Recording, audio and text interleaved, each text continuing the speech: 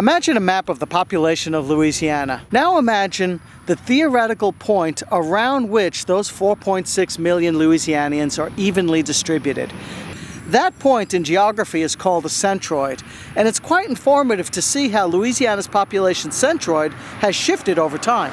So how have Louisianans distributed themselves over the past 300 years? Well, prior to that, the indigenous population was more evenly distributed throughout the region.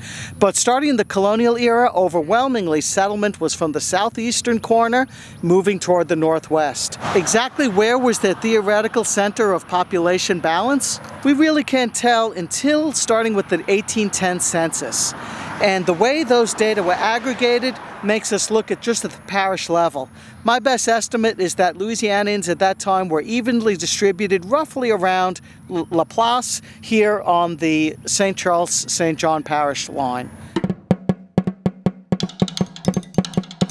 By the mid-1800s, Louisianans are moving up the Red River Valley toward Shreveport and out towards the southwestern prairie, which had the effect of shifting the centroid in those directions, that is to say to the north and to the west, such that by the time of the Civil War is probably around Donaldsonville or Gonzales moving northwestwardly. So this begs the question of where is the population centroid of Louisiana today?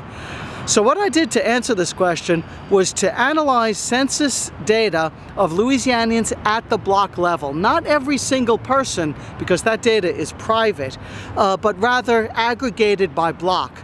And when you look at it this way, the center of balance is not too far from Tiger Stadium here in Baton Rouge. However, there's another more precise way of measuring the centroid.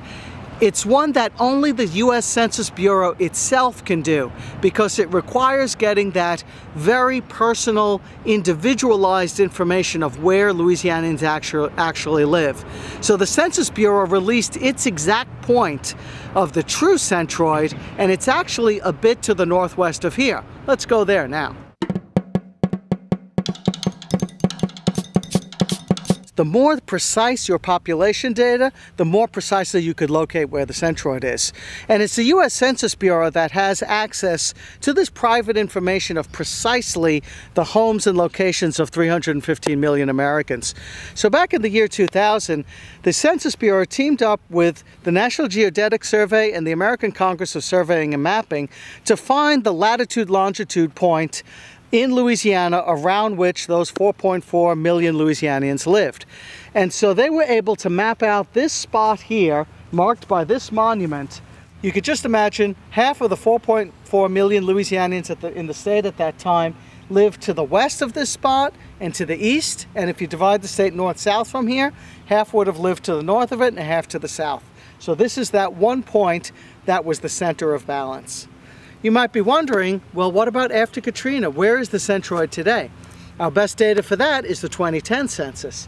The centroid by that time had moved about a mile in a northwesterly direction from here, still in New Roads. Significance of that is, you may recall that the centroid had been moving in a northwesterly direction for the past 200 years.